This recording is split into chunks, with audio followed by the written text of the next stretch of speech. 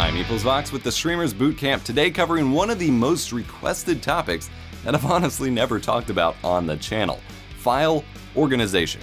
Managing your YouTube video content and streaming files. I've been doing this for almost 10 years and will walk you through how I recommend setting things up and where I hope to change things and where you might improve on my methods. Let's jump in. As a streamer and YouTube content producer, I have a lot of large files to organize. And if you're not careful, they can add up fast, not to mention they take up a lot of unnecessary space on your PC, depending on how you have things set up. Thankfully, there are a few things you can do to ensure that your files are protected and managed effectively. We'll cover organization here, and in a future video I will cover some super advanced means of keeping your archives from taking up so much space if you're someone like me and can have a single project reach 8 terabytes alone. Stay tuned for that one. These days, we have quite a few options for backing up your files. Naturally, you can store everything on the cloud if you have a small enough archive or a large enough monthly budget, but there are a bunch of other options to choose from if you'd prefer to keep something locally. For instance, you can invest in a network attached storage or NAS device. I've covered these many times on the channel as I've built out my storage solutions. The NAS plugs into your network so you can store raw video on a local backup, but don't have to keep it on the computer itself. You can even set up your NAS to automatically back up to the cloud. It's a good idea to have two backups if possible.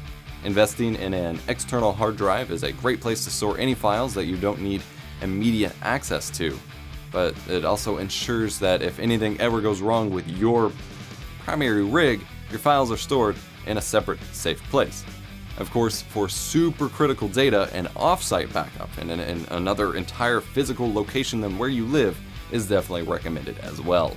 I also recommend investing in a high quality processor for your gaming rig to keep things running smoothly between your hard drives and the PC.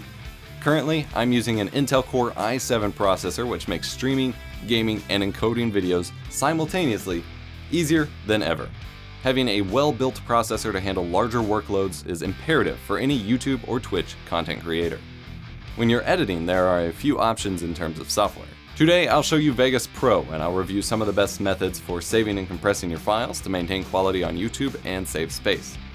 I take a lot of my production tricks from traditional production practices, and as such, I usually render out two different files for my YouTube videos. I have the Master Render, which is rendered in the Cineform codec that maintains lossless quality that I can edit and tinker with later without quality loss. I've detailed this process in another video. And then I export a web copy in H.264, the best format for YouTube and Twitch that is much more compressed but easier to upload. Most sites will not play nicely with the master render and it would take ages to upload I've, I've, I've tried it a few times. It takes a very long time. Here are my recommended render settings in Vegas Pro. You can lower the bitrate some if needed to keep files smaller still. This is what's called compression, where it reduces the amount of information stored in the video to make it smaller, while keeping enough important information to make it look nice. Once you have your files saved in the right format, it's time to get organized. As your video collection grows, organization will be necessary to find what you're looking for when you need it. Don't just throw everything on the desktop. I, I've seen that too many times. My first tip is to keep all files in a localized place by creating root folders.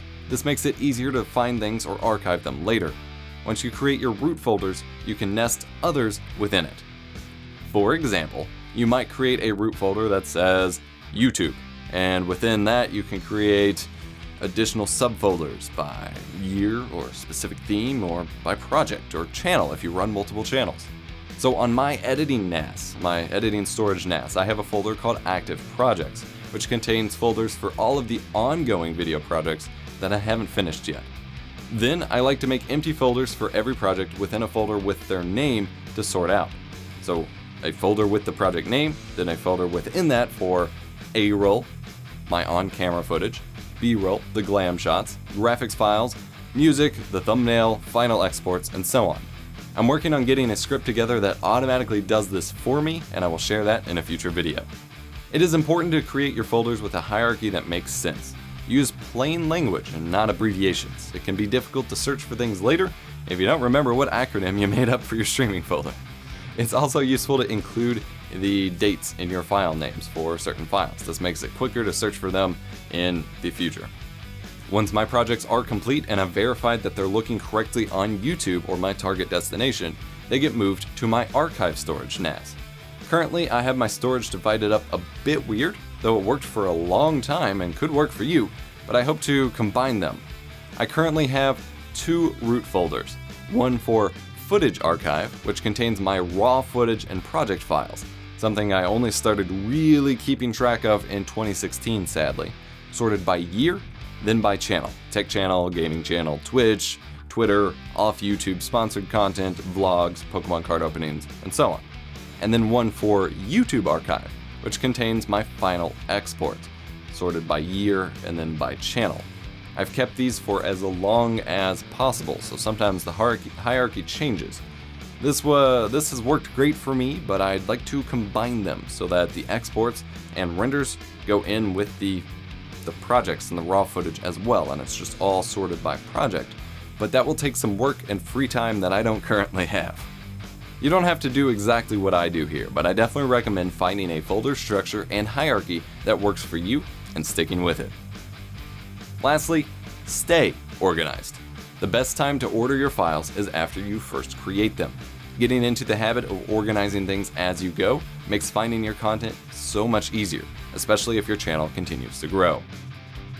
Some tips for avoiding backup issues in the future choose a reliable backup. While USB flash drives are compact and convenient for storage, they are not designed for long term use. Basically, thumb drives are easy to lose and are typically fragile in design. Make sure you invest in something sturdy that will last for a long time, since you never know when you might need your older files. I'm constantly referencing stuff from 2009, 2010, 2013, 2014, so it needs to be there. One of the most common mistakes people make after backing up their files is forgetting to confirm that their files are actually backed up. Once you've transferred your files to an external drive or uploaded it to the cloud, check and make sure the files transferred correctly and completely and didn't get corrupted along the way. Take, take a minute to test the files and play them back or check the file sizes in comparisons to the ones that you have locally but to confirm that they can be accessed from the new location before you delete them. Once you've set your storage up, make sure to organize your files in a system that makes sense for you. After all, you're the one that will be using it.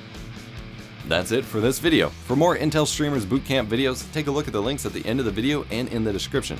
Check back often for newly released topics on how to better your content creator experience and overall streaming ability. I'm EposVox, and I'll see you next time.